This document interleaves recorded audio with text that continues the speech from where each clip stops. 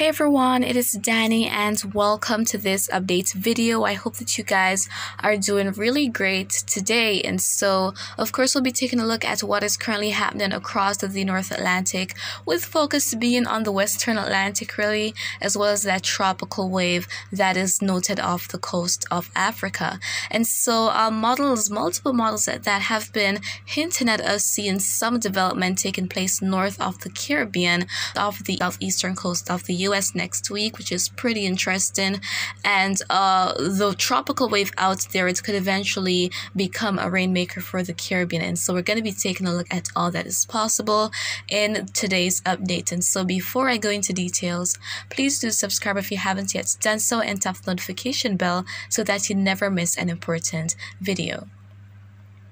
Okay, and so let us get started with it. As we return to this satellite imagery here, this infrared satellite imagery, we can see that this is becoming, this map is becoming very colorful closer to the coast of Africa. Now, all of that color indicates the convective activity taking place uh, in association with the intertropical convergence zone, and that tropical wave is propagating along the intertropical convergence zone. So the axis is uh, not too far off from where it was was yesterday, and this wave is moving slowly at around 5 knots, so it's not quickly making its way toward the west, but we're definitely seeing all of that convective activity in association with it. Now, as it is going to continue drifting uh, towards the west slowly over the next several days, when it eventually makes its way into the vicinity of the Caribbean, it could become a rainmaker, and I'm going to be taking you guys to the Global Tropics Hazards Outlook map very soon. But now we want to go ahead and take a closer look at what is happening across other areas. Uh, drifting over to the vicinity of the Caribbean, we can see that things are quiet across most areas. Most of us are waking to some beautiful sunshine this morning. We see a bit of thunderstorm activity within the vicinity of the Bahamas and also Cuba. But aside from that, there is really nothing much occurring across the region right now. So things have definitely improved over the past couple of days. Not that most of us love it because, I mean, a lot of us love the rainfall activity. But uh, going down into uh, northern South America, there is some convective activity seen across some areas, which is expected, and this will be something continuous with that intertropical convergence zone. And uh, I also want to go up and talk a bit about uh, just off the southeastern coast of the U.S., where we're seeing the development of some showers and thunderstorms, and uh, models were even sniffing at something developing within that region, but that seems very unlikely. However, within this general area, we could see something try to spin up as we head into next week. And so, guys, now we want to go ahead and take a look at what is going on in terms of that hazards outlook map from the Climate Prediction Center. And so, we're focusing on where we see week two, which is from the 24th to the 30th of May. So, from next Wednesday to the following uh, week, Tuesday. And so, we're focusing on the Atlantic, of course, and we see some shades of browns and some shades of green over there. So, those shades of green represent the probability of above average rainfall.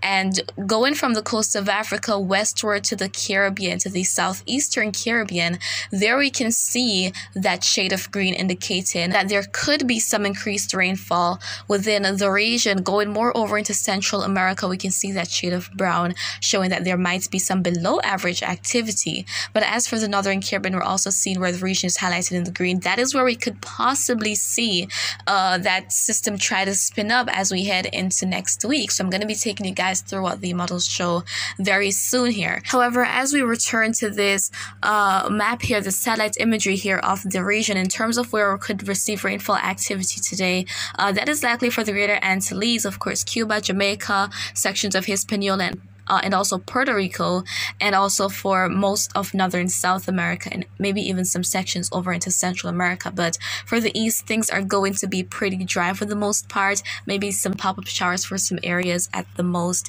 but a whole lot is not anticipated across the region today.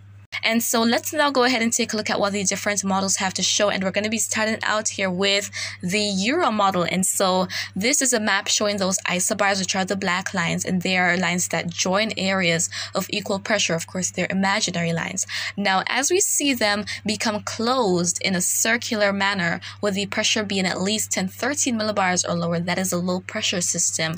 And it can sometimes be a tropical cyclones. So uh, where we have those greens, of course, that represents the precipitation rate. So uh, where we have those colors, those greens, yellows, oranges, reds, that is indicating the precipitation rate. So let's see what Euro has to show. And there we have the forecast time.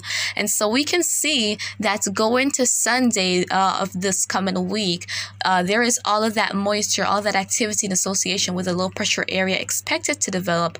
However, as we head to the latter part of that week, that first system getting picked up likely by a frontal system out there, but then we see a lot of moisture remaining behind from the tail end of that front uh, and possibly developing into something. And this is one of those origin spots for tropical cyclones or subtropical cyclones during the early part of the hurricane season. So, pretty interesting here. And this wouldn't be preseason development because remember that uh, it was confirmed on the 11th of May that we actually had preseason development in January, but that system uh, remains unnamed. So, if we have development within this region here, the first name is Arlene. And going on to the ICON model, ICON is showing something pretty much similar going to the early part of the coming week. There it shows that low pressure area developing likely uh, maybe a weak storm within the region. Now, uh, take a look at this. Most of that activity, that precipitation remains confined to the east of the center of the system, likely as a result of the wind shear. So that is a huge problem for tropical cyclones. It is a it is a huge inhibiting factor when it comes on to development because it really helps to displace activity from the center of uh, those developing low pressure systems, preventing it from becoming concentrated.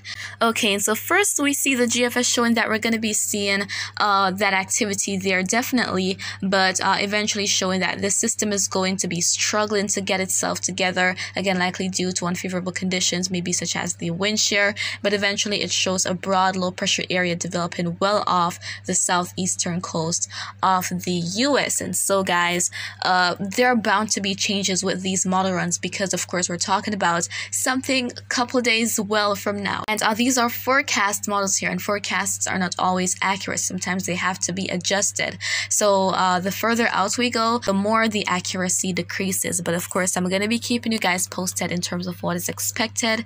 And that is really it for this update video. And so, I hope that you found it to be quite informative informative. However, if you have any questions, feel free to leave them in the comments. I'll try to respond as best and as soon as I can. And of course, remember to always be weatherwise.